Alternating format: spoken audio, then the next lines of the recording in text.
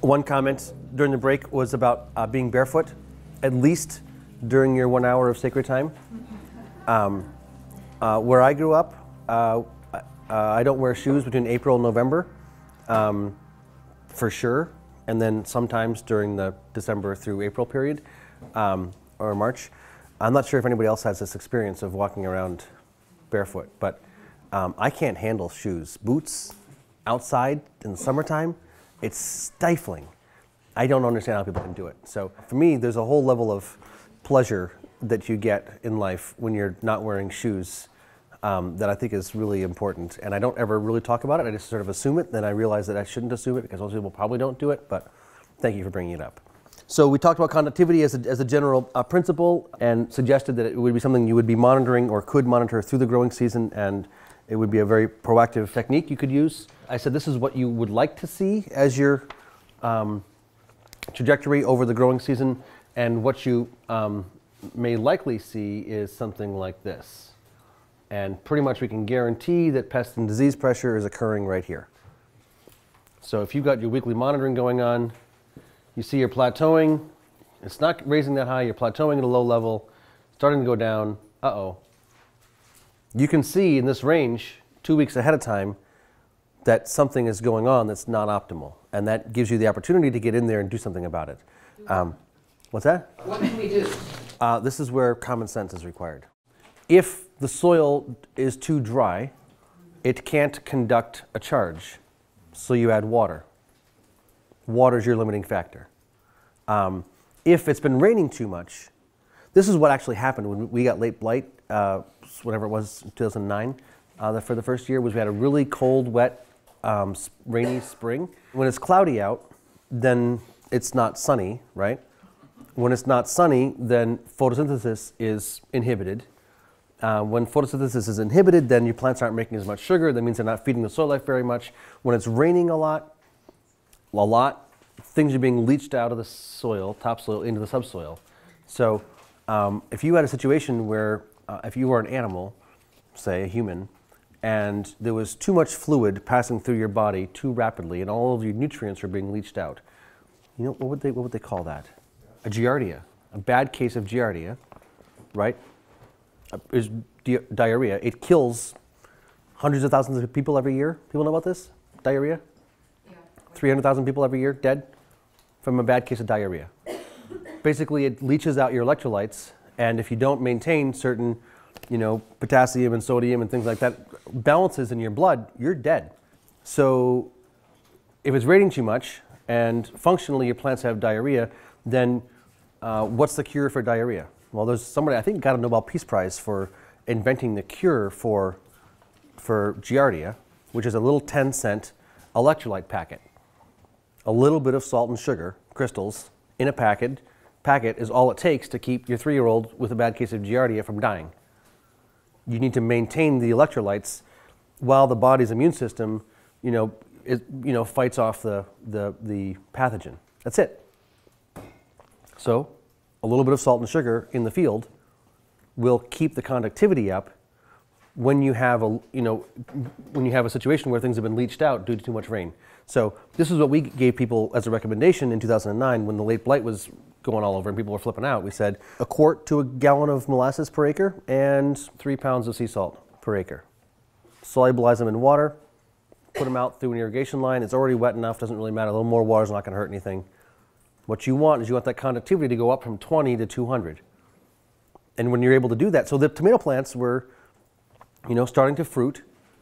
They're pregnant teenagers and they have no food to eat. And guess what happens to pregnant teenagers or pregnant women at all when they don't have any food to eat? Anybody been around a pregnant woman before? right? It's really important that they are able to stay on top of eating on a regular basis. And when they're not able to stay on top of eating on a regular basis, they fall apart. It's not complicated. Conductivity is low, pregnant woman's unhappy, bad things happen. So you can use conductivity as a monitor. It depends on the environmental conditions. If it's been cloudy and rainy, then probably you know, adding something would be the solution. If it's too hot and dry, then water is the solution. Um, you know, this is only helps you focus your mind on this problem here. And then you have to use your common sense and critical thinking skills to figure out what the best strategy might be for addressing that imbalance. But at least you're, you're given a, you know, a metric that you can follow that'll help to give you um, guidance. Uh, this is, again, one of those things where after you start doing it for a couple of years, um, you don't really need it anymore because you've learned you know, basically what's going on and how these things play, and you can be monitored over different time and environmental conditions. So it's not something you should need forever, but for a couple of years to help get comfortable with these kinds of things, I think it's a valuable technique.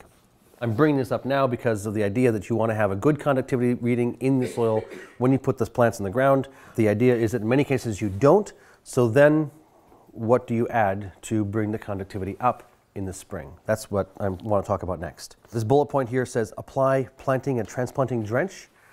That is something that you would water into the soil at planting or transplanting time. And I've got some ingredients here, and I want to talk about how you can make these ingredients yourself on principle, just so you're comfortable with the ideas. Before I go into that, has anybody ever, uh, in the process of transplanting, um, gotten a like a, a tub or something and put some liquid fish or some kelp into it and then dunked their seedling trays into the tub before going out and transplanting them. We want to, you know, give your plants some goodies to start off with when you put them into the ground. But that process of dunking them in a tub, I think, is almost 100% backwards. If you were to take a root ball and soak it with nutrients and then put it into a soil that didn't necessarily have a hell of a lot going on, which direction do the roots want to go? Yeah. Which direction do you want the roots to go? So where would you put the drench? In the trench. In the trench. you put the drench into the soil, and then you put the root ball into, the, in, into that environment, and the roots are inspired to reach out. Right?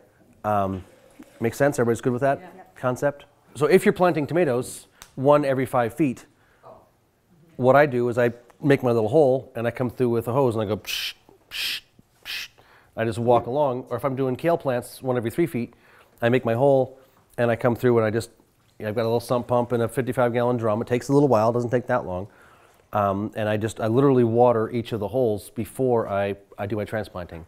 Um, if you are operating on scale and you've got a water wheel transplanter, um, this is stuff that would go into the water wheel transplanter. This would be a perfect application of this process, would be to put these liquids into your, into your water wheel transplanter, if you know what that is. If you're planting rows of carrots or rows of beets or anything like that, um, you can make your row, you can put your drip tape into the row and turn the irrigation system on and put this through the irrigation system so you've wetted the bottom of the row with the goodies and then you can come through and seed and cover and they're going to have that base to work from to take off.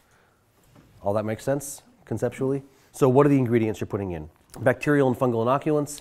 I told you yesterday that I would teach you today how to make your own inoculants, and that's what I want to do right now. Um, I said you can certainly buy these things, and they're really inexpensive, and they last for a long time, and it's a great deal. Um, but on principle, I like to give people options that don't involve money, but options that are like what you can do in your local environment, because I am thinking about strategies for the planet, not for comfortable North Americans. And so the principles need to be you know, viable for the planet for me to feel comfortable presenting them. And so making your own inoculants is a, it's a, an exciting process. Um, what I'm going to be laying out here, if you want more information on it, you would do a Google search for the term IMO, indigenous microorganisms. And then once you've found that, you're going to find all kinds of other stuff and you're going to go down the rabbit hole about inoculation and you're going to get totally overwhelmed. Um, which is all exciting and you can do all kinds of experimentation, or you can say, okay, so Dan gave me a real simple process, I'm just going to do that. and then we'll deal with the rest of it later. So the real simple process is you are obliged to go for a walk and uh, bring along with you some sort of a container, a plastic bag, a five gallon bucket.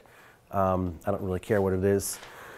Um, your walk should hit as many microclimates as possible field edge, forest, swamp, stream, pasture, meadow, and what you're doing is you're looking for plants that have shiny leaves. We talked yesterday about plants that have shiny leaves They're plants that are fat and happy. They're fat and happy because they've got good, well-established gut flora. So then therefore, any plant that's got shiny leaves is a plant that you could go and take a handful of soil out from underneath and harvest a spectrum of vibrant, vital local microbiology, and you basically take a handful of soil and put it in your bucket. And you proceed through as many microclimates as possible, looking for leaves that are shiny, and, and you know, taking a handful of soil and putting it in your bucket. And when you get back home, you've got a mix of a broad spectrum of you know, well-functioning microbes in this environment from this soil type um, that, are, that are alive and well. And you basically are going to be harvesting those by adding water, stirring it up, letting the solids sort of fall to the bottom, and then you pour that water either into a watering can and water your seedlings with it, or your seeds when you're planting them, um, or you can put them into an irrigation line if you want. Um, you know, whatever is appropriate for you, for your structure, for your for your system. Um, the scale doesn't really matter. The idea is you want once you've got this soil with life in it, and you've added water to it and stirred it up, so the life can basically get off the soil into the water, and the soil is dry, has has precipitated to the bottom. Um, as soon as you add the water, you've got four hours basically um, until these, the um, air is gone, until the people that are in there have breathed up all the oxygen, the dissolved oxygen in the water, and then once they breathe up all the dissolved oxygen, they die. So once you add the water, the clock starts. Um, and you want to get them into the ground as soon as possible. Um, but this is a really simple process.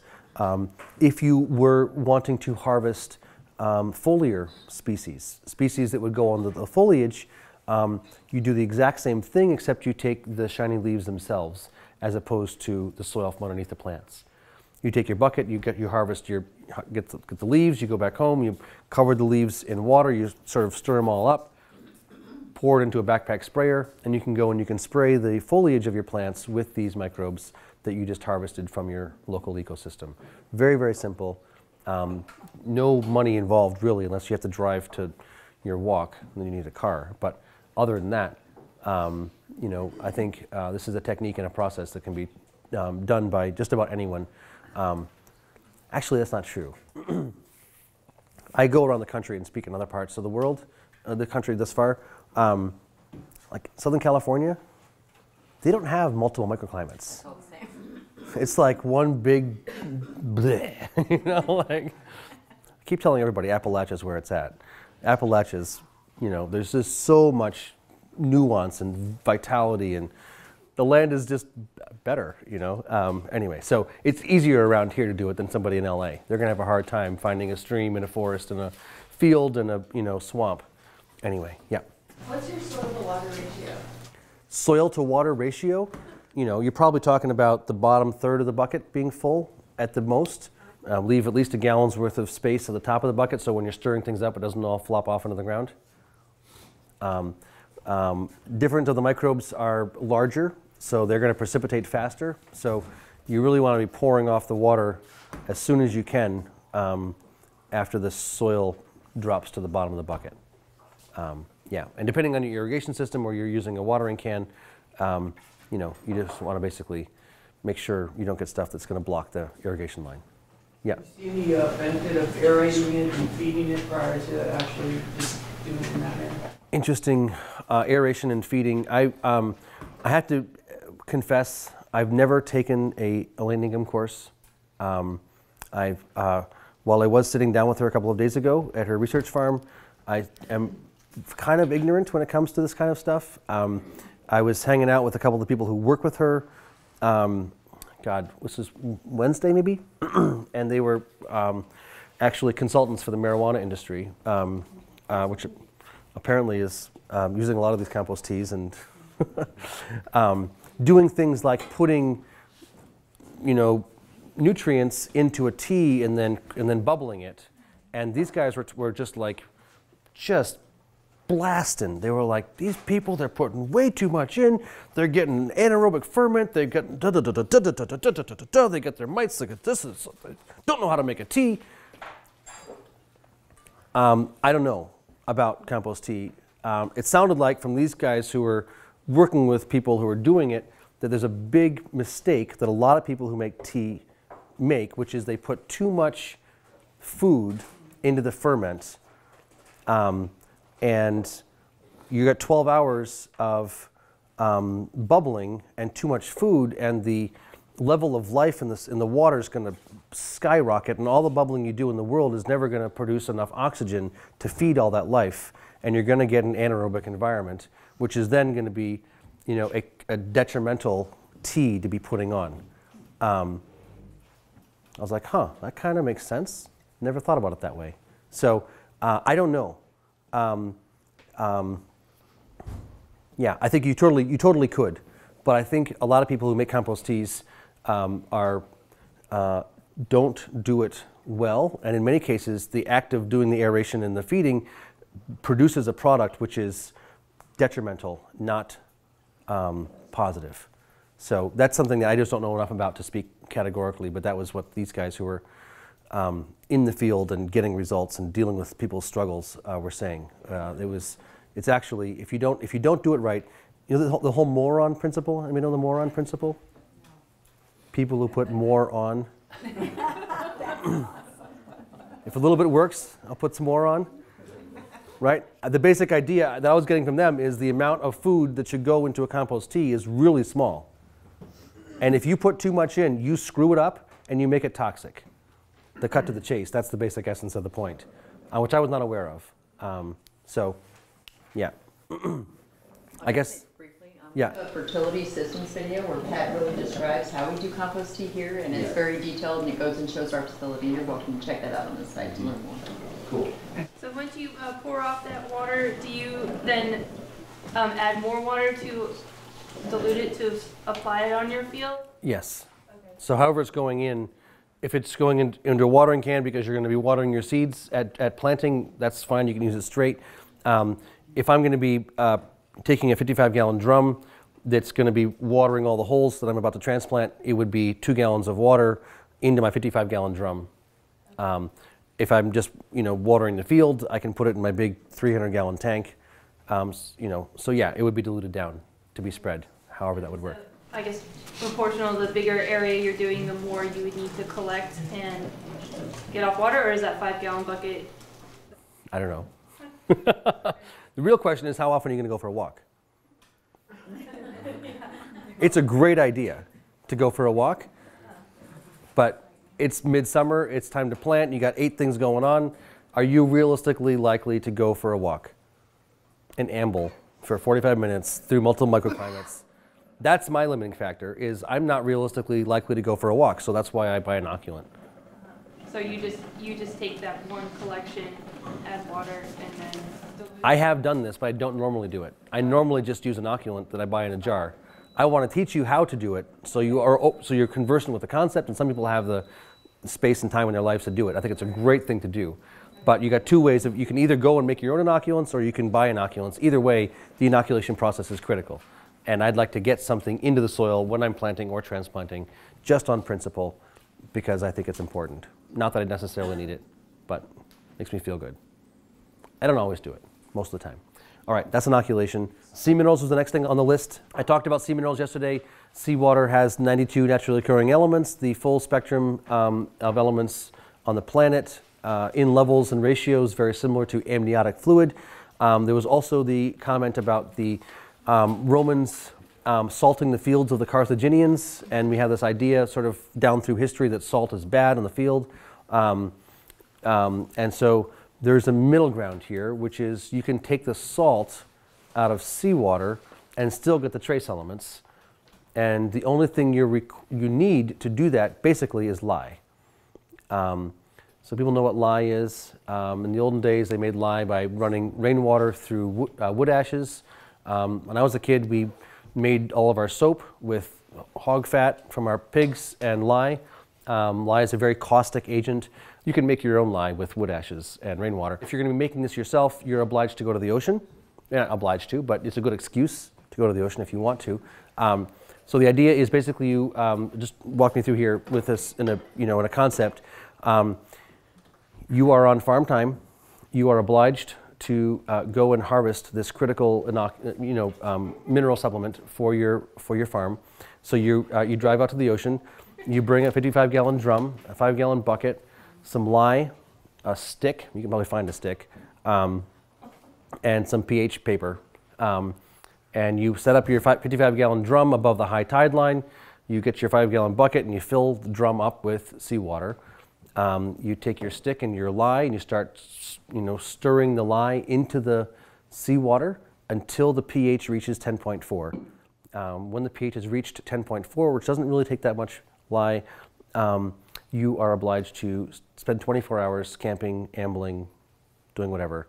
Um, you need to wait for the trace elements to precipitate out from the sodium chloride. Um, uh, something like 96% or more of the salt in seawater is sodium chloride.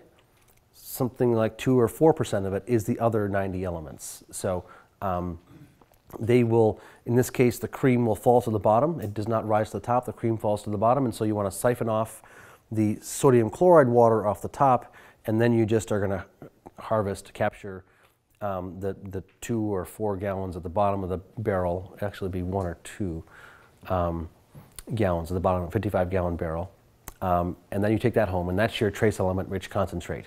Um, and that applied at a pint per acre as a foliar spray is a rocket fuel, a quart per acre into the ground on a regular basis. Uh, you're giving, uh, it's an amazing material. Um, um, uh, certainly, you can do this with just straight sea salt. You can add water to sea salt and make seawater and then do this process if you want. You don't have to go to the ocean. It's a great excuse to go to the ocean if you're looking for excuses. Um, um, but this will, uh, you know, provide your plants the full spectrum of, of elements, um, um, which I think is really helpful for all the enzyme systems and all that kind of stuff. So uh, this is something I would be putting into the, uh, into the, into the wall, into the ground when I plant and transplant. Um, you know, something like a, somewhere between a pint and a quart of this per acre. Not a lot, just a little bit is plenty. Um, okay, that's so. It's liquid at the bottom that you're pulling Yeah, out? it's a fl- it's a it's a it's a milky colored uh, fluid. Yeah, it's And how long did we wait? 24 hours. And if I'm doing this with sea salt, I- the whole process with the lye, or is the sea salt ready?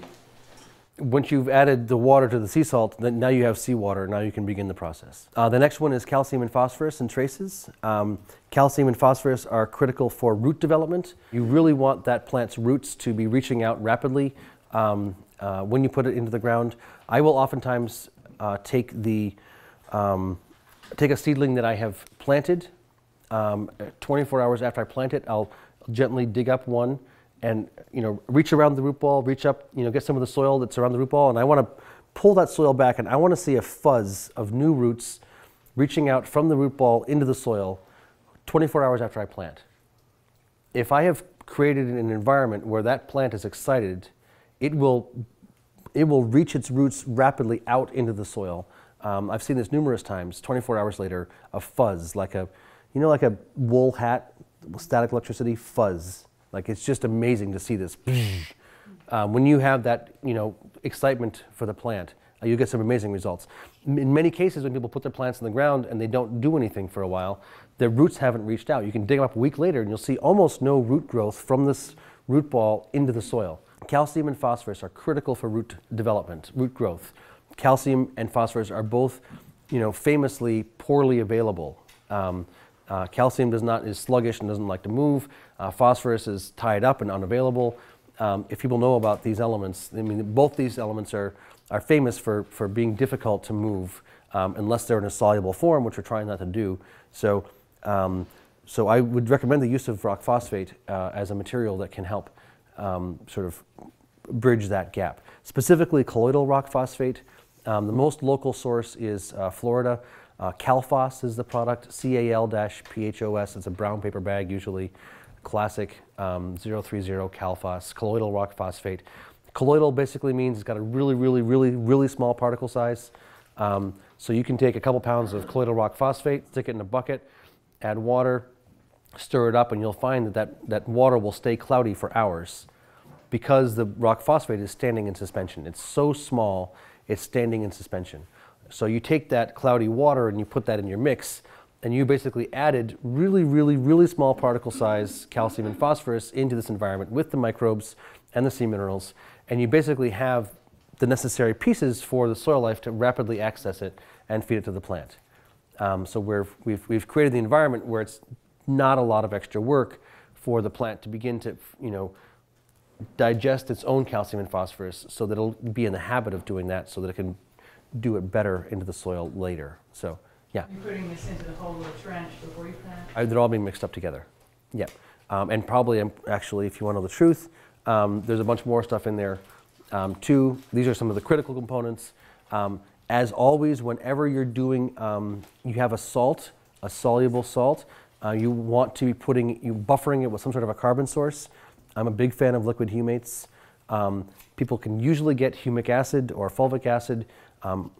That's fine. I like to just the straight up humates like pulverized. They're full, the full humic quotient. Um, if you had some uh, finely powdered biochar, that would probably work as well. Um, um, but yeah, whenever you've got a salt, uh, you, you, it, best practice is to buffer it with a, with a carbon source. But uh, my experience is you make this mix and you go when you start watering it into the holes and your conductivity goes from 30 to 200 just like that.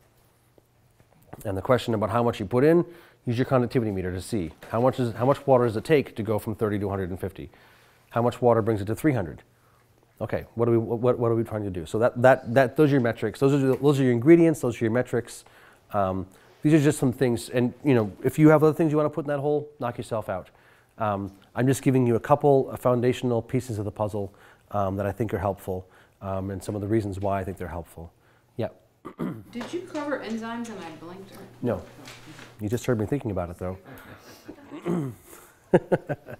you just heard me thinking about it. Yeah. Uh, You you might have said that concentrate, you just kind of make a determination on what you think's right, or what's the concentrate? Are these ingredients into the solution? Um, much of the farming process for me is a really slapdash, Right. glug, glug, glug, eh, about that much.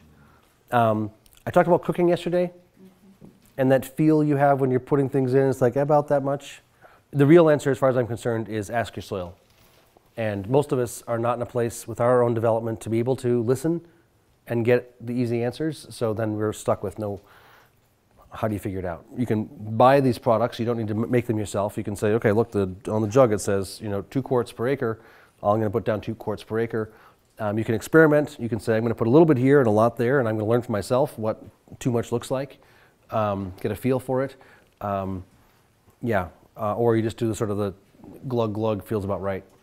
Um, there's a pretty wide variance uh, for what's fine you can get away with.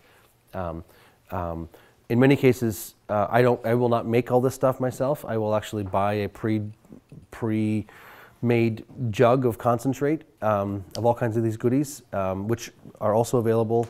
Uh, so you can make these things or you can buy them. Um, and yeah, something like a gallon of concentrate per acre is what I'll be putting in. It's not a hell of a lot of material.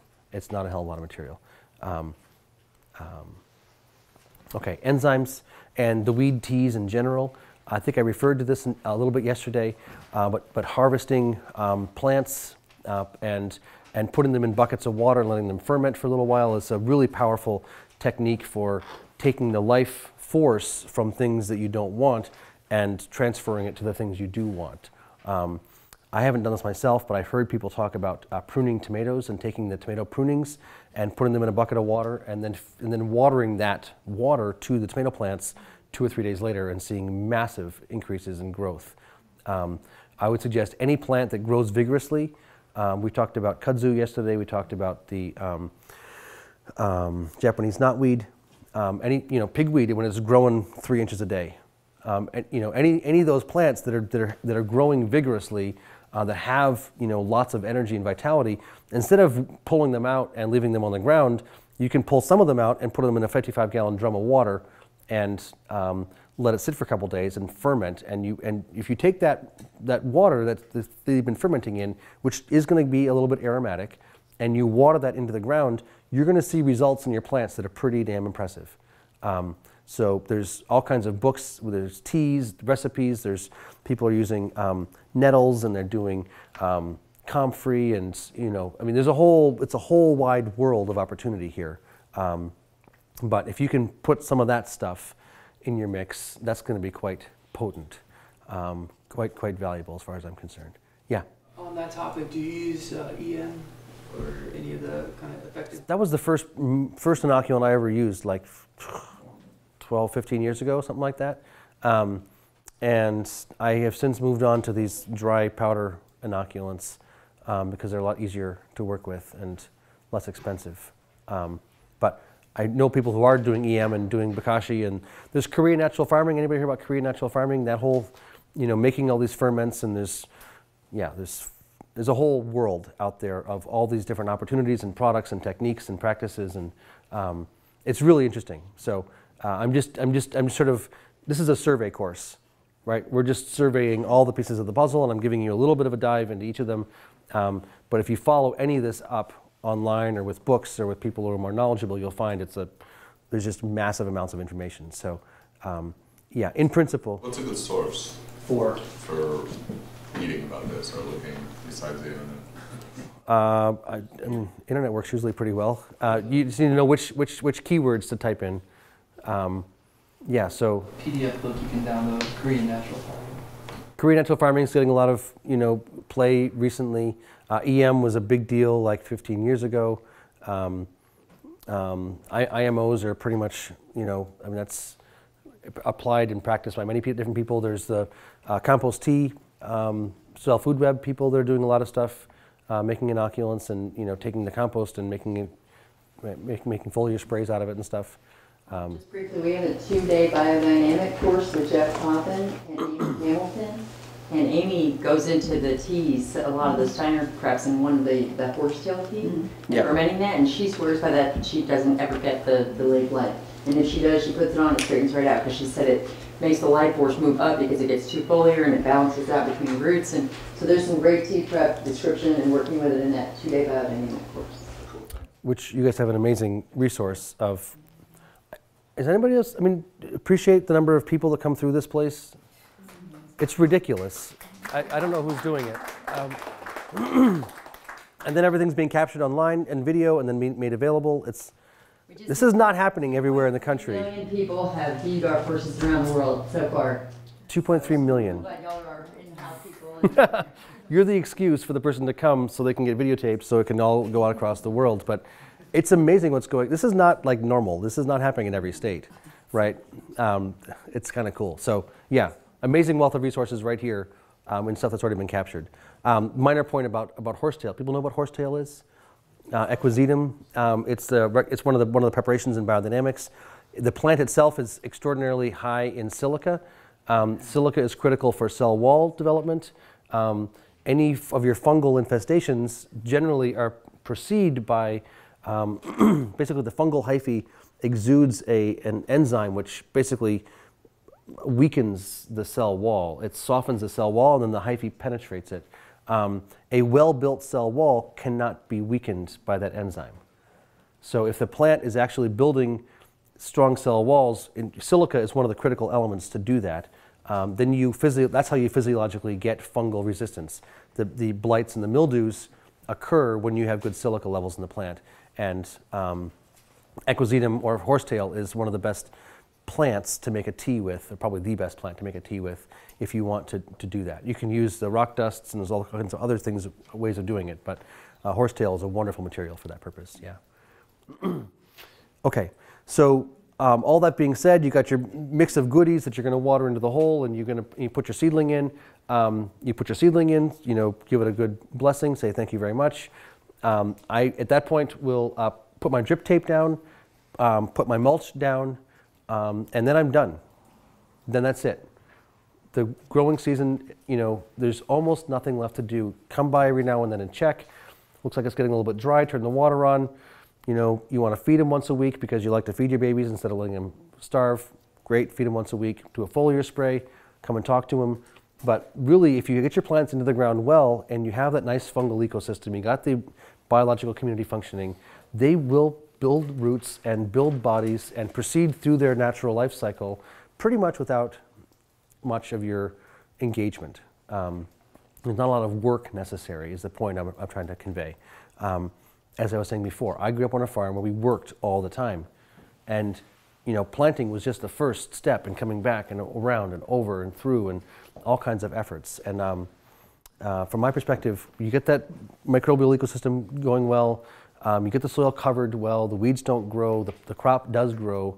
Um, it really, it really, um, I don't know, makes farming a much more pleasurable uh, occupation. So, yeah. I know you said this, but you're feeding them, if you do feed them once a week, what is it that you're feeding? Uh, what is that we're feeding them once a week? Um, I was going to be talking about that in a little bit. Um, we are going to go through, after this section, the next section is plant visual analysis. How do you look at a plant and see what's going on with it, what it needs?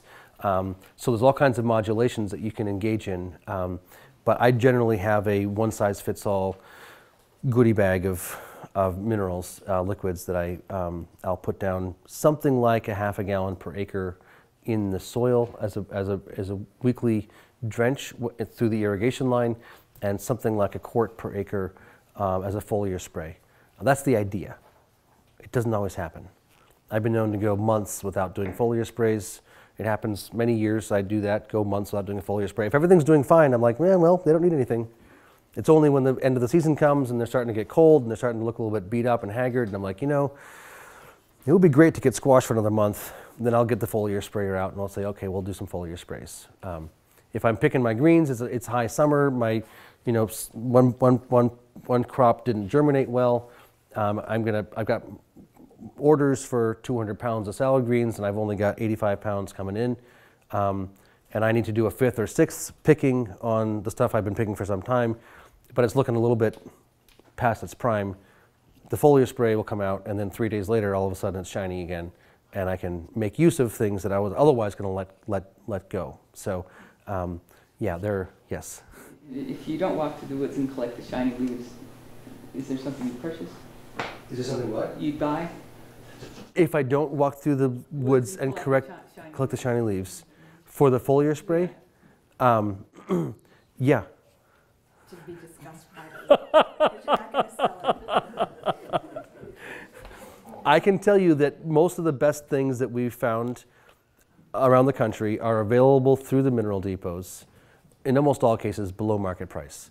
Um, there are some pretty good companies out there putting together products that, you know, make this whole job a lot easier. And farmers that are working on 500 acres or 10,000 acres are not going to be doing, you know, this little stew making process. They've got a budget. My budget is $200 an acre for fertility. And so, you know, and this, this a whole, this is, this is how it's done on scale. And what's exciting is that we have millions and millions of acres that are being managed biologically with consultants and products and all this kind of stuff. So we're doing the organizational, educational stuff and talking to people broadly about these principles, but there's a whole other community of people who are consultants and mineral distributors who understand these principles, who are, who are working with major, major farms, major acreage, applying these, applying these principles. So um, it's great. It's great. Um, I was not aware of any of this stuff 10 years ago, and uh, even then, a lot of the stuff was happening. But there's actually it's much farther along the whole process, and the and the products and all that kind of stuff are, are definitely out there. Yep. Yes. Back to the scenario in which, you know, you, you got an order, you were, for whatever reason, your plants are, um, Yeah. not doing well. It's When you're dealing with, uh, Yes, finished did not germinate. well, so specifically with, uh, any kind of pest issue, Yeah. are you, you know, have you ever used any, or do you use, um, you know, beneficial insects or surround or anything of that nature to deal with the current? Uh, the only thing I've ever used for pests is essential oils, which I understand to be basically plant immune system support compounds. Um, so I don't. I've never used Surround. I've never brought in um, nematodes to you know do various things like that. I've never bought in anything like that. Um, I'm not opposed to it on principle. You know, my thought is, I mean, we haven't talked about this yet, but but the whole thing about the um, pollinator habitats and the hedgerows and the polycultures in close proximity and the, I mean, if you have a well-functioning eco- ecosystem, um, in many cases you've got the predators endemic that can that can take care of these things, and you shouldn't need to bring to bring this stuff in to buy the stuff in. Um, I know with FSMA, people know about FSMA, Food Safety Modernization Act, this thing that went through a year or two ago that basically makes it illegal for anybody to grow food if you're not a. I mean, there can be no manure in the field, which means no birds can fly over, which means there can't be any rodents, which means you have to have a an agricultural area, you know, miles wide with no life in it to pass the formal regulations, right? And this is it is categorically and thoroughly ridiculous predicated on this assumption that, that germs are bad and bacteria are going to kill us, right? I mean, the whole thing is, is perverse. So, um, in that kind of an environment where you don't have pollinator habitat and where you don't have a polyculture ecosystem, then bringing in, you know, stuff, great. Um, and I, I know people who are, you know, good farmers who do bring these things in and do get results from them. Uh, I haven't done it myself. Um, I use um, essential oils are my like last ditch go-to, and even when I've got them on the shelf, I in many cases don't use them um, because I like to let my plants figure it out. If I've got you know potato bugs in the potato patch, I just kind of like well, there's only a few potato bugs. Um, it's only hitting a couple plants. I want to let those. Let's take those guys out. Let's get the weak ones out of here. I kind of like it. I, that's I'm like it's full on survival of the fittest um, dynamics. Yeah.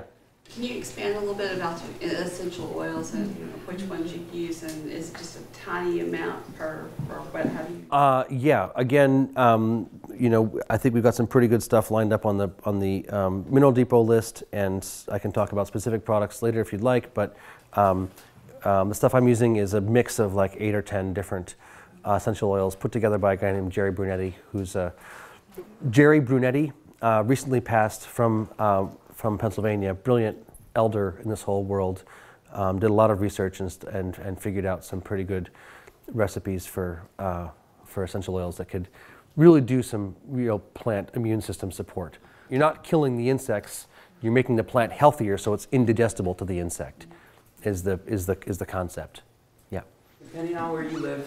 As I said, like 2013, growing tomatoes in the rain that we had, like, I, again, I didn't know anyone that didn't have um, uh, blight. I mean, Yeah. even the biodynamic lady said she was able to hold it off, but she ended up getting it as well. Everybody got it. And, you know, in this area, uh, Mexican bean beetles is a great example. I mean, we actually don't have the predator. We, we uh, can purchase it and release Yeah. it, but um, it's a big issue. And the idea of, of flea beetles, I love flea beetles because, or they're my nemesis. Don't get me wrong. I love to bring them up in this conversation Yeah. because, I mean, I truly have tried everything. And outside of netting, and Pat Battles is convinced that the nematodes eventually will have the potential to work. But it's just one of those situations where, you know, the, uh, on principle, the idea that you can create a plant that has a cell wall in which has so much water in it, so healthy that the, that the bug Yeah. isn't interested in it. But practically speaking, I mean, using milky spore for Japanese bean beetle, using, I mean, there's just almost these go-tos that they cost money. If I didn't have to do it, I wouldn't. But the idea is like, it, it almost feels like there are specific examples to where it's a romantic idea. It's just not like practically reasonable. I totally appreciate where you're coming from. When you're a farmer, theory is nice. You know, getting the crops to market and making a living is the is the first priority. And so I'm not going to say anything bad about using some of these, you know, more holistic manners to address pests and diseases. I, it's it's a continuum, and you are where you are. And while the theory may be inspiring, you're not there. You're here, so we've got to deal with it. And I totally respect that. Um, I mean, I think the flea beetle has been one of the most pernicious, you know, issues I've got. I mean, pr- pretty much every all the rest of them are, you know, gone. I don't have to deal with them, and I only get to flea beetles when I have done. I mean, my experience is I can numerous times. I um, I grow a lot of arugula, so I plant my arugula. It's July. It's not really arugula's season, um, but I, you know, 300 bucks a week, guaranteed 30 bucks, 30 pounds of arugula. I'm like, I'm going to try to see if I can grow arugula. 300 bucks a week counts as money. 30 pounds, not that much. Like, I'm going to see if I can keep my arugula supply going. So I plant my arugula. Um, it's, it's, you know, it was June and uh, it was hot out, and um, we went to my parents' house for dinner, and um, the soil dried out between when I planted and when it germinated. I can pretty much guarantee flea beetles will decimate that crop. If, however, I'm able to keep the soil moist between planting and germination, I can pretty much guarantee that even if they're right next to three beds of arugula that are being eaten by flea beetles, these ones won't be touched. I've seen that on my farm numerous times. I don't use Remay. I, um, you know, the idea that you can somehow make it a fortress where no flea beetle can get in. I mean, I guess it's possible, but it sounds like too much work to me. So um, I, I know what you're talking about, and I, um, it's a continuum. Um, and all these pieces of the puzzle, you know, if I save my own arugula seed, those plants are so much more resistant to flea beetles than the stuff from Johnny's.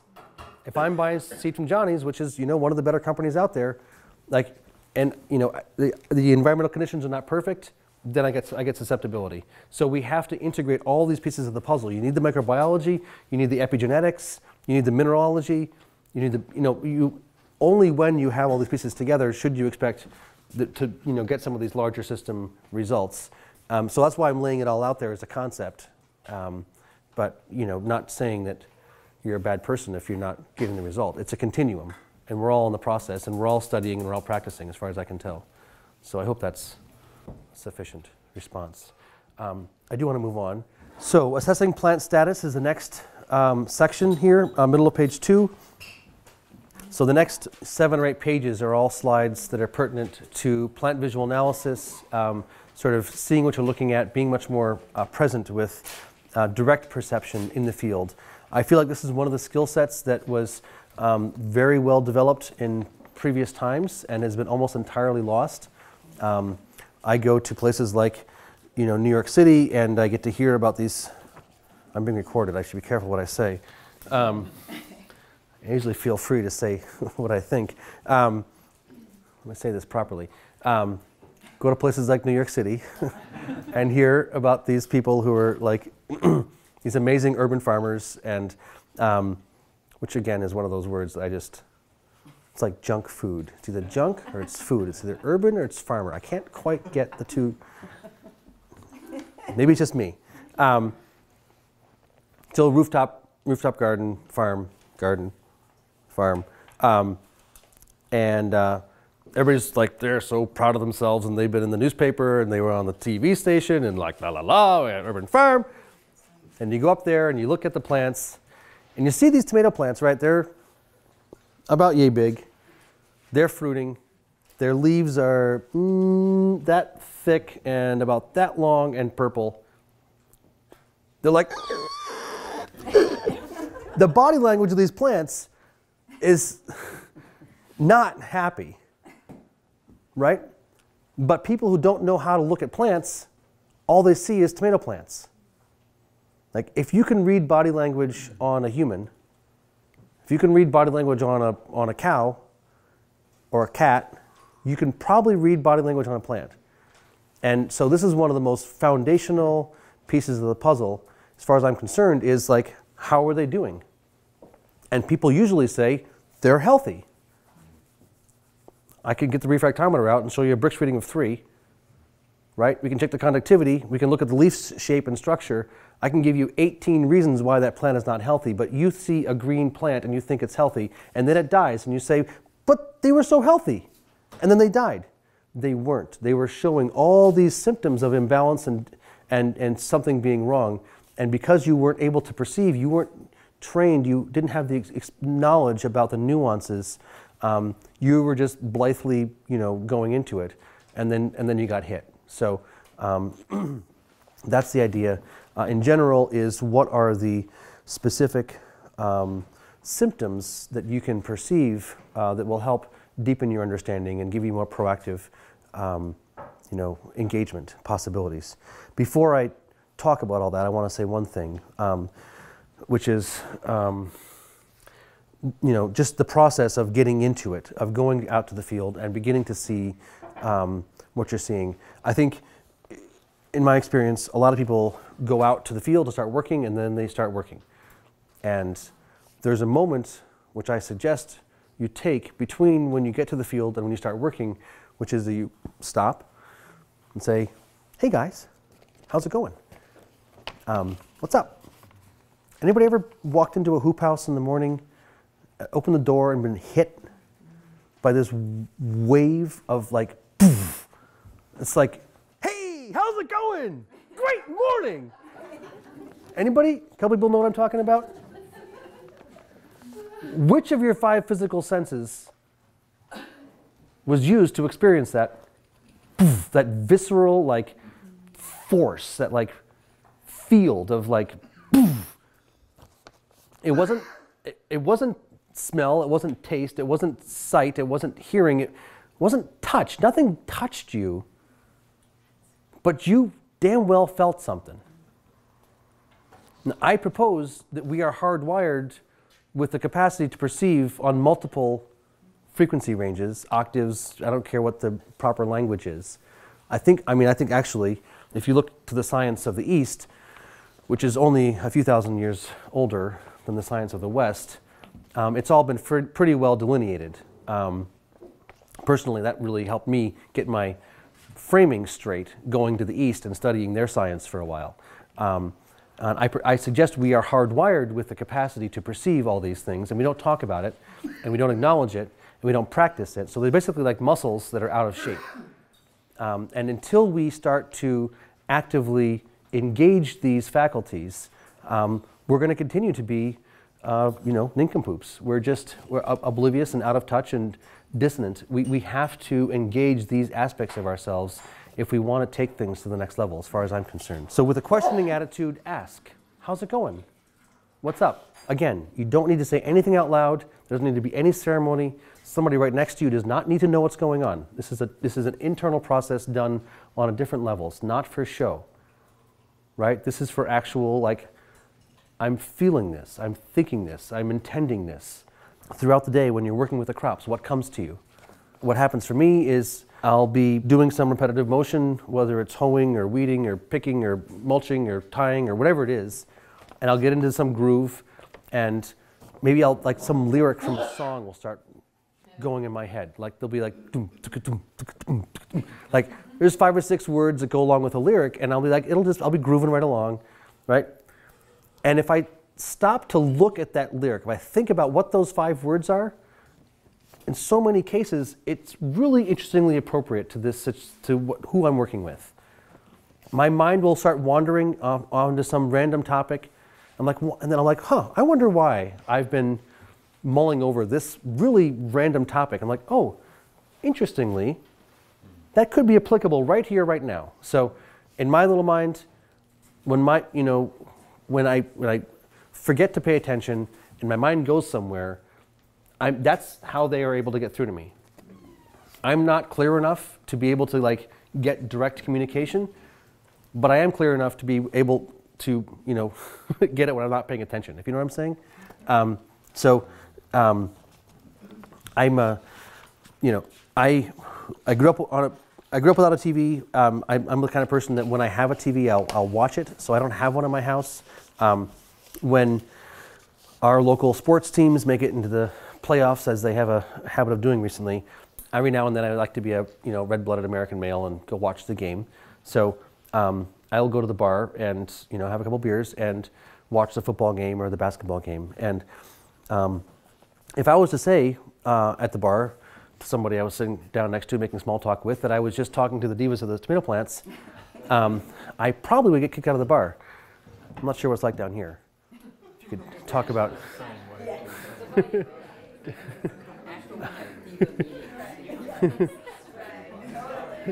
Whatever you. that got a total response. If I said that I had a gut feeling about something, it would go over with no mention. So, different people have different languages. You know, we have our different dogmas, our religions, our, our theoretical constructs and structures. I don't really care what you call this. Um, I've got a few words written down sentience, intuition, spirit, devas, kinesthetic, gut feeling. I consider them all to be synonyms. Right? They're different languages for the same basic thing. So whatever, whatever words feel comfortable to you, whatever you know, perspective you know, frame is, is, your, is comfortable for you, use that. That's what I'm trying to convey here. Um, so, um, but I, what I want to say is in the process of going out and talking to your plants and looking at them and um, and studying a bunch of these things, which I'm about to go over, um, be open to these other things that come to you. Be open to these random thoughts. I told you about Moira yesterday and the, um, the lemonade, the lemonade. Like, why would they want lemonade? Doesn't matter. I mean, you can ask them if you want to, but the point is they told you and you heard them. That's awesome. Do it. How much do they want? Ask them. What kind? Ask them. Right? This is not like there's no book for this. There's no regulations. This is the land where it's at right now in these ecosystems, in this circumstance, in this climatic condition, in this season, with these seeds, and with what you've done. This is a unique moment. And every moment is, is you know, it doesn't, it doesn't fit into some, you know, um, you know, chart so easily.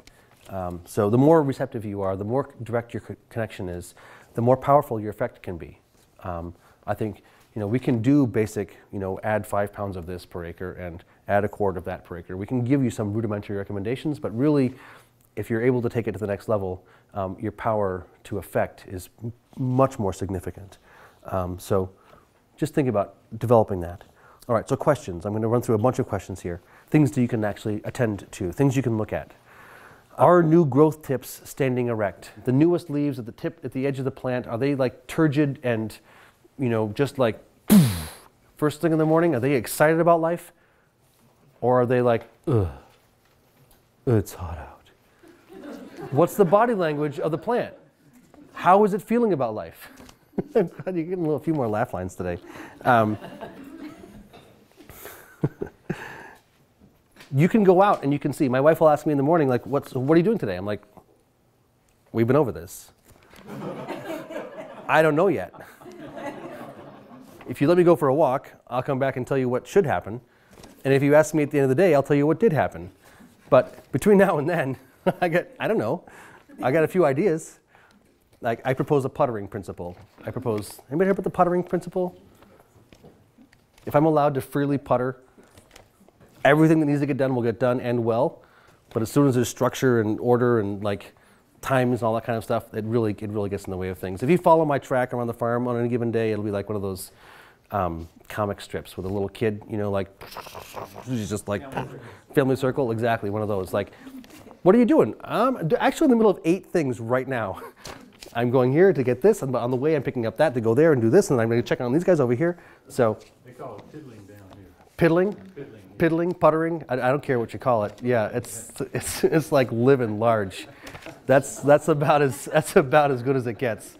Freely puttering on your own land, it's just a wonderful thing as far as I'm concerned. Um, anyway, so yeah, you go out and you see what's going on, and then you just make your decisions about what to do based on what you've just perceived. Do the honeybees work the flowers vigorously, or the pollinators?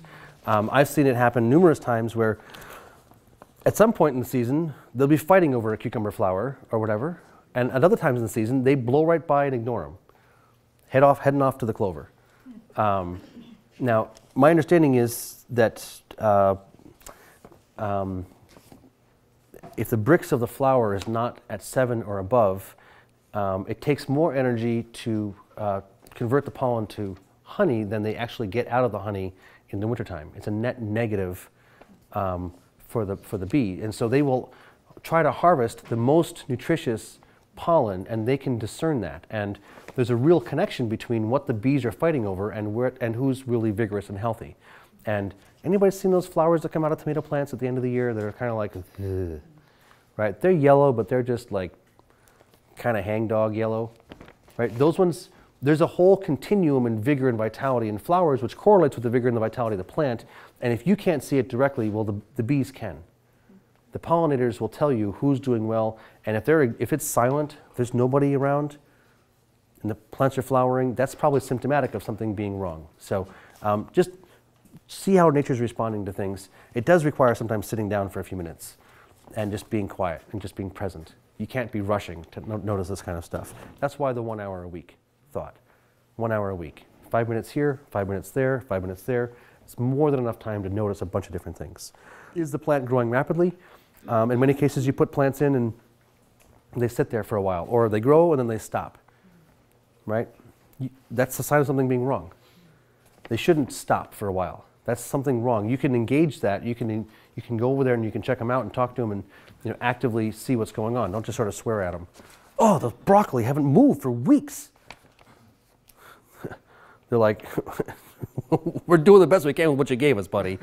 it's not our fault. you want to come help out, or are you just going to give us a hard time? Um, strange how the labs sort of like ebb and flow. Um, are the stems solid or hollow? Uh, this is most applicable on brassicas and, and grain plants, grain crops. If you, you've picked a, a broccoli plant, it's too late at that point, right? You pick it and you see the stem is hollow. They shouldn't be. Um, grains, you know, any, any of the grains, the, the you know, forage, forage grasses or the, or, the, or the cover crops should have a solid pith in the stem. It should not be hollow. You should not be able to blow through a grass stem. That's a sign of a weak plant. High quality fodder, high quality forage, um, you get many, many, many more bushels, uh, bales per acre. The, the uh, lipid levels are much higher. Um, if you're raising, um, you know, cows and you're, you know, dairy cows or, or, or, or steers, either way, um, high quality forage will be, um, if you, if you actually are growing high quality forage, cows won't eat grain, right? They know grain's not right for them. The only reason they eat grain is because the food you're giving them, the, the, the pasture you know, you're giving them is, is insufficient for their nutritional needs. Um, you know, they will literally walk right by grain if the quality of the forage is high enough. And one easy symptom of that is the, is the pith, a solid pith in the stem. What weed families are dominant? Uh, this is a nice thing you can do. If you've got a field where you're growing, you know, three beds of this and five beds of that and 10 beds of that, um, you can stand back and don't just look at the cucumbers or the tomatoes or the peppers, but you can stand back and look at the weeds in the field because you probably don't have no weeds in the field. You probably have some weeds in the field. What are they? Are they broadleaf weeds? Are they grassy weeds? Are they tap-rooted weeds? Um, you can see based on the families of plants that nature's choosing to grow what the environmental conditions are and, and sort of you know read her assessment of, of what's going on uh, through that. Um, I think I told you about this book yesterday called Weeds and Why They Grow by uh, Jay McCaman, who's got all this stuff laid out. It's, a, it's one of the better books out there. I don't think it's great, but at least it begins to lay these things out. If you've got broadleaf weeds, if you've got things like pigweed and lamb's quarter and galinsoga, generally that's symptomatic of a bacterially dominant ecosystem, which means you've probably been tilling too much. Um, if you've got things like quackgrass, any of the rhizome grasses, um, that's soil that's too tight, um, probably uh, low calcium, maybe low boron, um, but th those are really you know, symptomatic of a certain type of environmental condition. If you've got the um, docks and dandelions, um, they're you know, breaking up uh, subsoil compaction. They're oftentimes a calcium um, bioaccumulators. Um, if you know what you're doing, if you know how to read the weeds, read the plants that nature is growing, she can tell you what the systemic foundational you know, imbalances are that are present. Um, in general, on principle, if nature plants something like a dock or a dandelion or something like that in my kale patch, I leave it. I call it polyculture. I call it cover crops. I don't call it a weed. Right? That is nature's way of balancing out the soil. This, this is how she thinks. I mean, this is her, her best strategy for improving things right here, right now. So, um, if and when they get tall enough to shade out my plants, then I rip their heads off and drop them on the ground. But I don't pull them out and I let them grow back again. Um, on principle, this is sort of how I've chosen to engage, engage the process. You don't let us see? Uh, if you were to walk my fields right now, you'd see lots of plants that you might call weeds with seed heads that have been sitting there all winter. Um, yeah, I definitely let them go to seed. I'm uh, really bad about.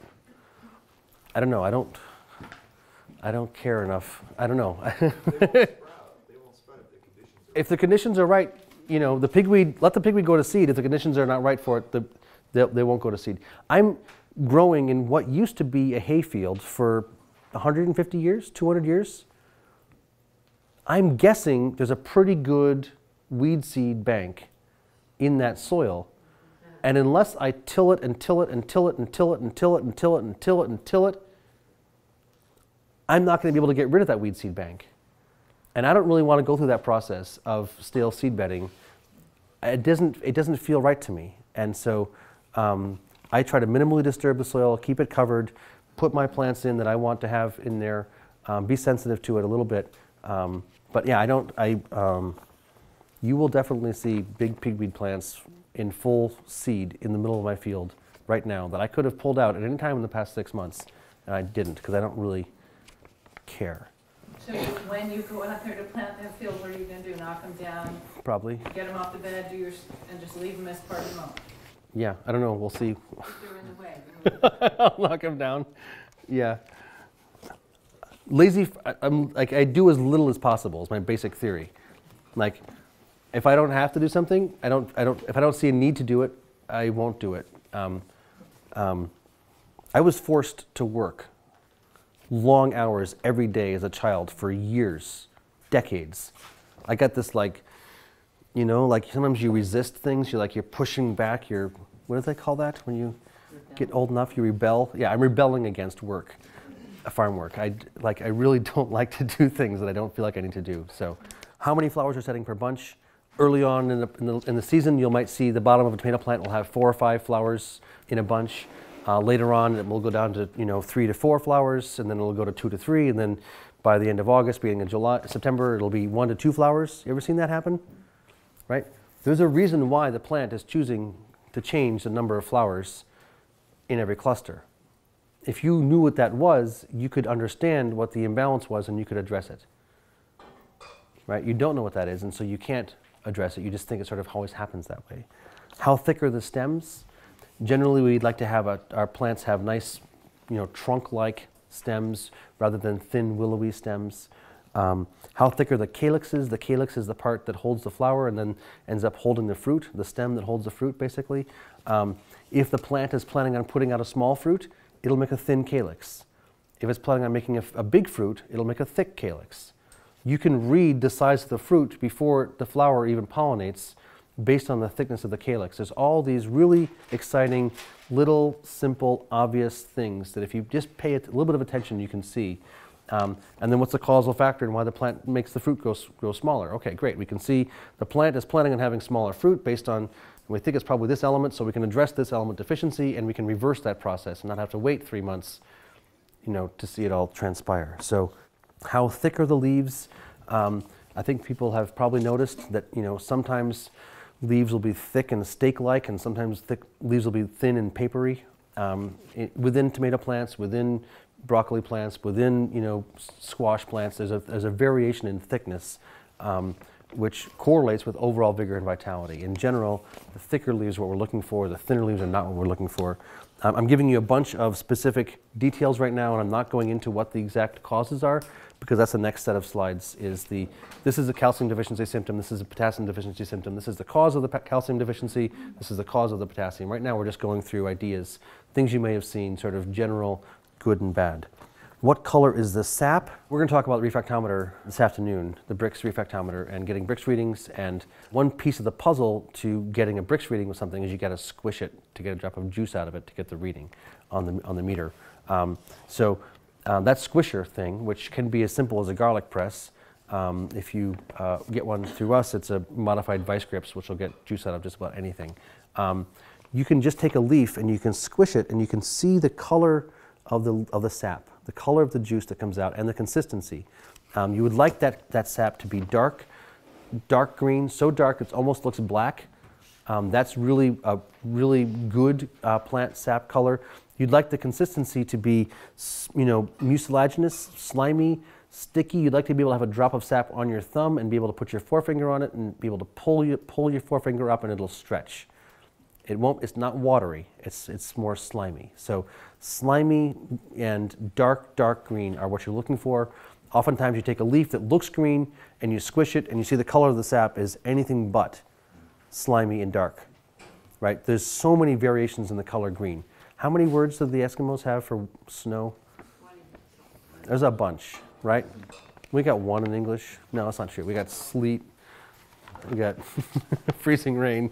There's a couple, right? But I mean, there are so many different colors of green that we all have seen, but we don't really know what they mean. What's the spacing between the nodes? The nodes is the branches, basically. So as the plant gets more leggy, there gets to be more space between the branches. That's usually a sign of hormonal imbalance, something you don't want. You'd like the, you'd like the spacing to be closer together. Um, that'll be symptomatic of a you know greater productivity, better root systems. Uh, when you do begin to see it get leggy, that's usually a sign when pruning is appropriate. Um, pru- pruning off the growing tips. How many petals are on each flower? I know in basic biology it's really clear. Right? This plant has is a dicot and the leaves are shaped like this and there's a number of petals in the flower. This is how we define things in, you know, like classical science. Um, has anybody ever seen a tomato flower that had like three rows of petals on it? Am I the only person in this room who's seen that? Yes? At least one other person has seen tomato flowers that look more like a sunflower in structure than a tomato flower? Now, I don't know what it means, but I've sure seen that a number of times. I've seen flowers on tomato plants that were not a dandelion that got thrown onto the tomato plant, but are actually stuck to the tomato plant that have multiple rows of petals on them. I don't know what it means, but the more you look, the more variation you're going to see. The, it's, it's just really interesting. Um, somebody said it was called a king flower, but they still didn't tell me what it meant. Double, call it double. Double flower? Well, Like a rose is double, and a daisy is a single. That's Whatever came out. basic biology. What came out light, but that would be like. Yeah. There's so many curious things to attend to, and never enough time to do with any of it.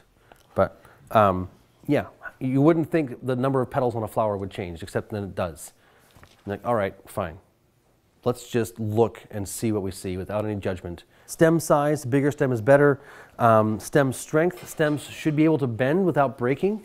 Anybody who's ever walked through a zucchini patch, after, a month after you've been picking it, and you know, like had this experience of, like you just look at the leaf the wrong way and it goes pop. Um, that's not what you want, right? In the end of August, when your tomato plants are starting to really not quite be what they used to be, and you just touch the stem the wrong way and it breaks right off, that's not what's supposed to happen. They're supposed to, they're supposed to bend without breaking. Stem hairs, in general, stem hairs and leaf hairs are a good thing. Not all plants will have them. Some plants will and sometimes don't. So if you see tomato seedlings that are looking so fuzzy, they're like threatening to poke you, that's a healthy seedling. If you see tomato seedlings that look like they just got their legs shaved yesterday, that's probably not a healthy tomato plant right? There's a real nice correlation between hair, fuzz, fur, three dimension antenna, good things. Um, if you've grown an eggplant that had a thorn on the middle of the leaf that could draw blood, that's a 3D, like serious, and serious, you know, that's more than a leaf hair. That's a thorn. Anybody been able to draw blood with a thorn on? Yeah, they're dangerous, those little bastards. and they don't all come out that way, right? I mean, in, within the same variety, different environmental conditions, you'll see major variations in this kind of stuff. Um, it's really interesting, really interesting. Solid stems and grains and brassicas. Uh, hollow connotes, connotes a functional calcium deficiency. We talked about that basically already. We'll talk about calcium in a little bit. Stem shape, round is preferred. Oblong connotes a functional calcium deficiency. People may have noticed in like a broccoli plant, you'll see sometimes the stem is more oval shaped than round. Sometimes it'll be round and then it'll be oval and then it'll be round again. You can see it vary in the plant. Um, so we can look at these kind of symptoms to see. Some plants are going to have a square-like stem. They're never going to have a round stem, so those don't count, right? But internode points, shorter internodes build stockier plants. Uh, we talked about that already. Leaf thickness, thicker is better, facilitates greater photosynthesis and nutrient transport. Okay, so we're getting down into a few details here. Um, F, E, M, G, and K are associated with leaf thickness. For those who forgot their chemistry, Fe means iron, Mg may, means magnesium, and K means potassium. So I'm going to walk you through this here for a second. You see that your tomato leaves are looking not quite as thick as you'd like them to be. You know it's uh, likely either iron or magnesium or potassium. Um, you need to get your hands on some iron sulfate, some magnesium sulfate, and some potassium sulfate. Potassium sulfate is sulfate of potash, magnesium sulfate is Epsom salts, iron sulfate is iron sulfate, generally referred to. Um, you take a couple tablespoons of each one, put it in a quart jar. Got your potassium one, got my magnesium one, got my iron one. Fill that quart jar with water, put a lid on it, shake it up until you've got that salt dissolved in water. You've got a super saturated solution. You know, you want to keep adding it until it won't dissolve anymore, right? Until you've got some on the bottom of the bottom of the jar that won't that won't um, solubilize because the water is saturated. Um, now you've got an iron concentrate, a magnesium concentrate, and a potassium concentrate. Um, now you do some experimentation. You take uh, a quarter cup of the potassium concentrate, put it in a gallon of water, and spray it onto these two plants. Take a quarter cup of the potassium concentrate, put it in a gallon of water, spray it on these two plants, etc. Come back tomorrow. See what you see. Make your decisions based on what you perceive. Um, uh, in many cases, with foliar sprays, if you have hit the element that is deficient, um, you will see a response in a Brix reading in hours. You'll probably see a response in physiology in a day or two. You'll literally be able to see the leaf look different in that much of a short period of time. So, um, um, in general, when we're pushing through this all and we're talking about, um, you know, the um, leaf sap color, magnesium, boron, and potassium associated with this, this is the strategy. If you want to tease it out, if you don't trust your ability to talk to your plants and just ask them directly, which is of course the easiest thing to do, um, this is the way you this is the way you, you, you logic it out is by experimentation, cause and effect. Um, uh, in general, as it pertains to foliar sprays, let me just say this now because I haven't said it yet, and I always want to try to say it. Um, um, if you're ever putting in a salt like this, buffer it with a carbon source. We talked about humates, we talked about biochar before. Um, a. Um, if you're ever applying a foliar spray, um, I think the, the, my rule of thumb is uh, when the birds are singing is the time to apply foliar sprays, um, which uh, correlates with either 4.30 in the morning, when many people are not up and out foliar spraying, or 7.30 at night in the summertime. Um, so for me, generally, foliar spraying time is evening.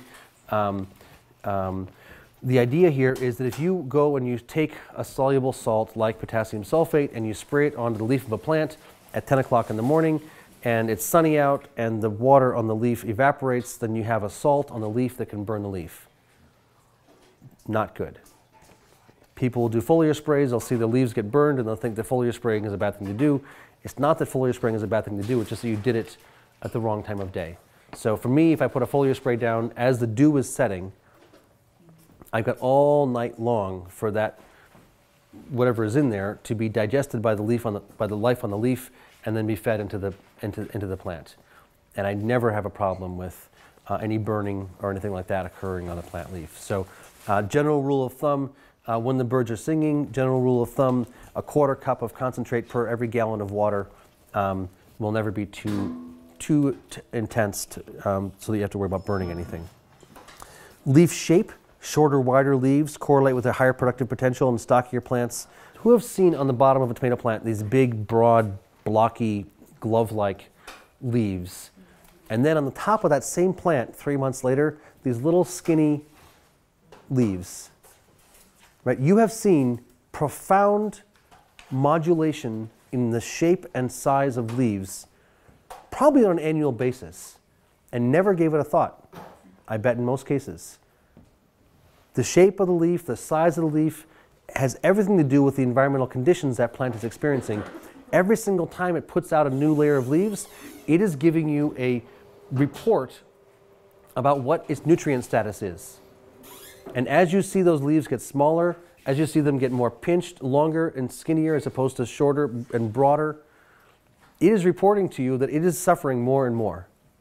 And you don't know because you think it's got tomato leaves on it and it must be healthy because they're green. Right? It is giving you a total readout of its nutritional status. So we would like to see the leaves stay broad and large through the plant. You do not want to see them get skinny or small. As they begin to get skinnier and smaller, that is a symptom of things going wrong. Um, and you can watch it through the. I mean, I've done this. This course used to be a six-day course. Um, we thought it would be great to have it be through the growing season, literally, and we, it would be great to have it be, you know, not all inside, but also outside also, also. So we would do half a day in the morning inside and then half a day in the afternoon outside. Um, what happened was people were not reliably showing up in the middle of the summer because they were farmers. So, um, and six days cost more than two days, so the price point was an issue. Um, but I remember some of those early courses going out into the field and looking at things like um, I don't know, broccoli. And you could you stand at the end of a bed of broccoli and you can look down and you can see the bottom three leaves are yellow and the next three leaves all have flea beetle holes in them. And the next three leaves, you could see, you could basically read the history of the season in the plants. You could see how those leaves were developed, their size, their physiology. You could see when the flea beetles were out and, and hammering them. You could see when they, you know, made it through and they started putting out different color leaves, different shaped leaves. I mean, you can literally read the season in a plant if you know what you're doing. You don't need to have been in the area. You can literally read like the climatic conditions. It's so cool when you begin to, to see some of this stuff. Yes. You were talking about the digestibility of the plant. Yeah. Like, can a certain plant have different state, like as it goes through different stages of maturity or health? Yeah. Like certain bugs will only stay here and other funguses will stay here? Or does the plant, once it becomes susceptible, does the whole thing? It's a continuum. Um, some things will, if the plant builds strong cell walls in its lower leaves, and then is unable to build strong cell walls in its upper leaves, there's, um, you know, the fungal infestations will just take out the upper leaves and not the bottom leaves. Um, um, So there's distinct, distinctions and discernments in the actual level. it's layer upon layer of discernment, but basically, when you begin to understand the basic pieces of the puzzle, you can start to put them together. Um, this is what I, I mean, I hope it's not sounding too complicated. Hopefully, I'm conveying like there's something you can work with here. If you literally spend an hour a week this year going out and looking at your plants and just seeing what you see and taking what notes you can and come back next week, um, I promise you, the level of discernment that you will have at the end of this growing season will be dramatically improved. You'll be able to, it was, I mean, one of those aphorisms, see what you're looking at. Anybody heard that one? The only problem with farmers is they don't know what to, how to see what they're looking at.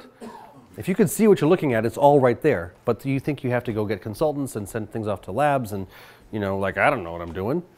You don't know what you're doing because you don't know how to look at a plant and see how it's doing. You can look at a human and see how they're doing, right?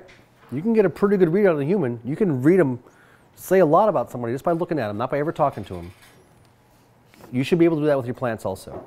You should be able to. Uh, leaf density, plants highly loaded with leaves have a higher productive capacity. Um, I am thoroughly of the opinion that leaves are used to make sugar and feed that into the soil, and the plants know better than I do about how many leaves they should have.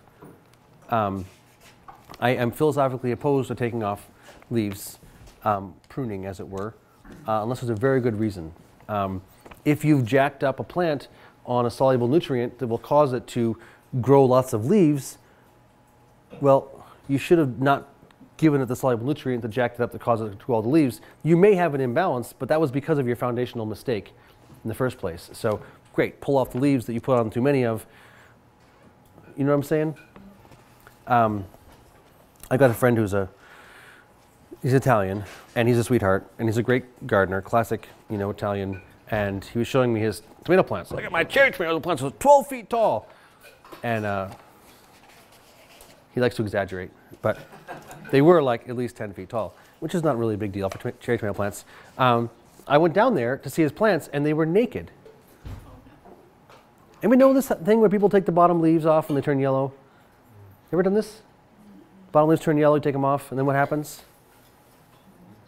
Next one turns yellow, then you take it off, then the next one turns yellow and take it off, the next one turns yellow, take it off. Pretty soon, he's up above eight feet and there's like no leaves on the plant. I'm like, Sammy, what the hell are you doing? Like, well, they're turning yellow. I'm like, we've been over this. This is the soil's too dry and a potassium deficiency is causing the plants to suck the potassium out of their bottom leaves. This is not a disease. We'll talk about that in a minute. But um, anyway, I think in many cases we do pruning, we take things off um, based on you know misunderstandings. Basically, as I understand it, if you want that conductivity to be high in the soil so your plant is fed well, you need leaves on the plant to make the sugar which feeds the soil life. Um, uh, we can talk about pruning of uh, perennials, things like fruit trees and things. I don't think I talked about that, did I? Not yet, no. Um, we have five minutes before lunch. Let me just maybe finish on that topic and then we can um, break for lunch. Um, so, just a couple of points on perennials.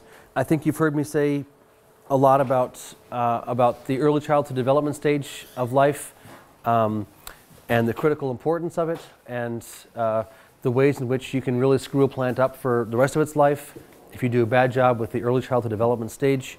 Um, I think a lot of, we'll just start with, with, with uh, grafted rootstock um, uh, dwarfing trees as an example. So you've got a dwarfing rootstock, um, which means that by definition the bottom is always going to be smaller than the top. Right? We talked about that? Which is foundationally disharmonious, right? It's foundationally dissonant. So in that case, if you're setting up a, um, an imbalance between bottom and top, maybe then you have a, a logical argument for pruning the tree to keep it balanced. So that might be that might be a case when that'd be appropriate. Um, I think the way it's done in nurseries is they start these seeds in very close proximity. They germinate them. If you've ever, ever been to a nursery to see how they start rootstock, I mean, they're literally like basically elbow to elbow, these, these you know, the rootstocks. Um, their you know, seeds are right next to each other. And so they spend that first six months or a year in extraordinarily close proximity, which is going to have that effect of having them define downward their yield potential based on that. Um, then they're dug up. Then they get their head chopped off, and somebody else's head gets screwed onto them. Then they get, you know, planted out for a couple of years, and um, then they get dug up again. Uh, they get all their roots chopped off. Anybody ever, got, ever gotten a bare root seedling? Right, the top and bottom balance on that thing is not healthy. It is not close to healthy. In my experience with my parents' farm, you know, the best land was taken for the vegetables, and then the high, dry, you know, bony ground was where the fruit trees are put in the hole. You take this baby that's been had a real painful childhood, and you stick it in a not necessarily optimal environment, and you say figure it out, and you wonder why you've got a hard you have a hard time getting your apples to be disease free, like why you have a hard time getting your cherries or your, your plums to not have curculio or or peaches not to you know have their branches fall or whatever it is. I think a lot of the issues that we struggle with with our perennials um, start with the seedlings we bring in. And um, it seems to me much more natural to prepare the ground well ahead of time and plant seeds in the ground where you want the trees to be. Like, for instance, uh, we make apple cider. Uh, we've got a bunch of volunteer apple trees. We've got 80 or 90 or 100 apple trees on our property. So we just go out and we harvest the apples, we press the cider. All that stuff that's left afterwards, the pulp, whatever you, ma- mash or whatever you call it, there's a word for it, mast? Not mast. What's the word for it? Mash? Just mash? I would suggest you just take that mash, maybe dig a little trench, and, and just dump that mash in a trench in an area where you want to have apple trees and let them germinate there next year. The ones that have the best vigor and vitality, let them be and take the weed whacker to the rest of them. Let your plants germinate in the ground. Your peach trees, your pear trees, if you want to graft them, fine, graft them. But graft them in place onto roots that grew in the ground that never been dug up. If you want dwarfing stock, fine, take some dwarfing seeds and put them in the ground. I think it would actually be a hell of a lot cheaper to put in an orchard if you were just dealing with seeds and, and grafting. Um, you could put in 500 trees and it would cost you not much money. Um, the numbers on you know how many ap- apples you can produce on an acre what is it like one to two thousand bushels per acre? If you got a, a functioning orchard organic apples buck 50 a pound two bucks a pound 45 pounds per bushel. You get a lot of variability with planting your fruits and seeds. if you want to graft onto the rootstock that, that you've germinated go for it. I'd have no problem if you want to graft but just graft onto plants that dug their roots into the ground and have never been dug up I think that's a really important piece of the puzzle, and it will save you thousands of dollars if you want to put an orchard in. But how do you know that that rootstock is actually a rootstock if it's coming from seed? Because this is going to be genetically variable too. I mean, they're all made from clones. The top is the top is the But clones. The rootstock is too, right? They grow out of, they, they breed and select a tree and then they make, they make that from clones too, don't they? The dwarfing rootstock doesn't have seed. Yeah, it's- I don't think so. I think because they'd have the genetic variability every time.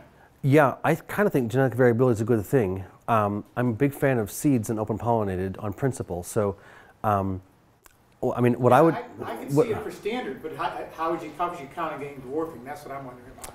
Yeah, and do you want dwarfing in the first place? I don't know. In general, the whole there's a, a much broader conversation here. One little tidbit that I think is, you know, I'm pretty safe with. Um, there's this root that comes out of the bottom of the tr- of the sapling that oftentimes goes a little bit. It comes down and goes this way. You, you know that one, the, the big tap root. My understanding is uh, trees, uh, plants in general, are sensitive to magnetic fields Uh, they're planted in the, they, they plant into the ground and they and they're, they're tuned into the electrical field flow of the earth. Um, and that major root going out is, would like to be heading magnetically north. Um, so if you do nothing different, next time you get a bare root seedling, just try to align the basic root north because that was how it was born, that's how it set up shop. And when you take it and you twist it and you send it off southeast, you've just taken it and you've just like, you know, it's like my feet are going here, my head's going that way. The whole thing is just twisted. So there's all kinds of subtleties here in the in the conversation, in the broader conversation. Um, you know, I think uh, if you can create an environment where nature can take care of her business, um, a lot can happen with almost no effort. Um, um, people heard of Sepp Holzer in um, Austria. Um, I think I think Mark Shepard is doing this kind of stuff in Wisconsin. I think both of them are doing this, planting seeds in the ground, letting the plants grow, not pruning them, take care of their bu- business, give them the space they need, lots of productivity, almost no effort. I think there's a totally different way we can do we can do our perennials um, as well as our annuals. We just need to think through it logically. So, um, all right, I'm going to break for lunch now. It's 12:30. We'll reconvene at 1:30, and um, hope you all had a good morning.